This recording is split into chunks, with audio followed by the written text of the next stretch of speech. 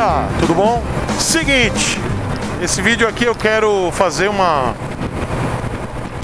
uma homenagem ao meu querido amigo André Martins, o Motoca 071 Parou, parou, parou. Parou, parou. Deixa eu te perguntar uma coisa. Você tá afim de ganhar uma CB400? No canal do Chico Sepúlveda tá rolando uma rifa de uma CB400. Lá você pode comprar as cotas e concorrer a essa moto. Você vai estar tá ajudando eu e o Chico a fazer um documentário sobre a Patagônia. Então todas as pessoas que comprarem uma cota ou mais da CB400, além de concorrer a essa bela máquina, vai participar do grupo fechado do Telegram. Faça parte dessa aventura. Venha na garupa com a gente. Conto com a ajuda de vocês, hein? Vamos pro vídeo então, meu filho. E deixar claro para vocês que eu tô muito feliz desse cara tá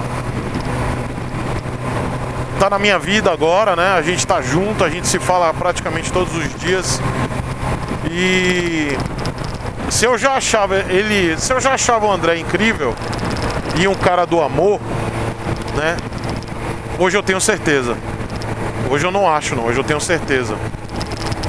E aconteceu uma parada essa semana. Eu não vou entrar em detalhes porque é muito pessoal, tal, mas o André me mandou a mensagem, né?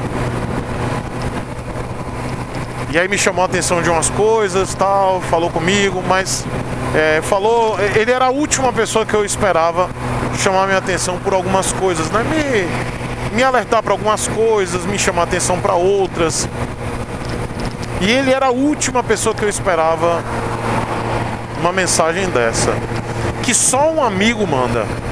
Só uma pessoa que se preocupa com você manda. E ele mandou.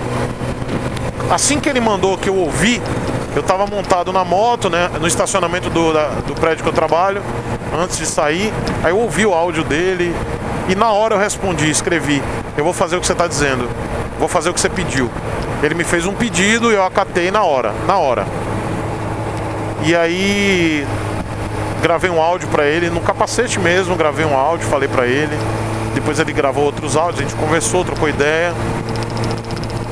Mas eu sabia que era uma mensagem. Era uma mensagem que foi enviada através do André. Mas não só uma mensagem do nada. É porque o André é um cara muito sensível, galera.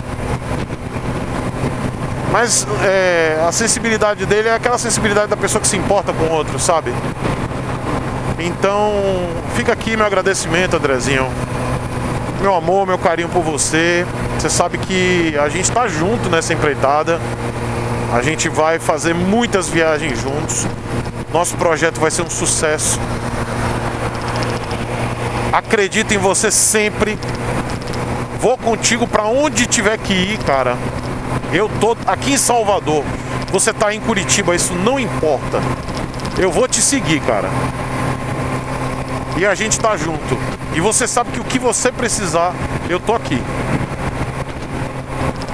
É, é isso, galera. Eu só queria fazer esse agradecimento em público pro meu amigo André e pedir para vocês de coração.